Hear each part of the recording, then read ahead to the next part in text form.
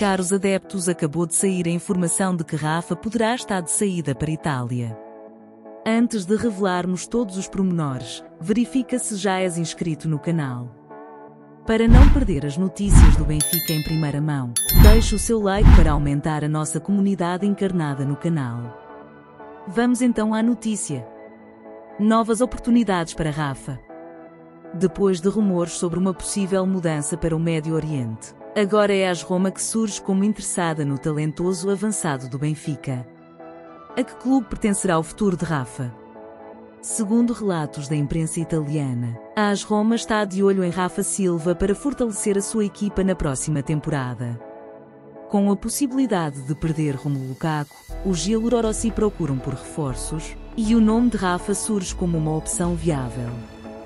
O italiano Gianluca Scamacca é o objetivo número um da AS Roma, mas é considerado um alvo inacessível para os Giallorossi. Daí surgirem em cima da mesa os nomes de Rafa Silva e de Batshuayi do Fenerbahçe. E caso se confirme a ida do português para a Itália, o avançado, de 30 anos, encontrará Brian Cristante, que já esteve ao serviço do Benfica.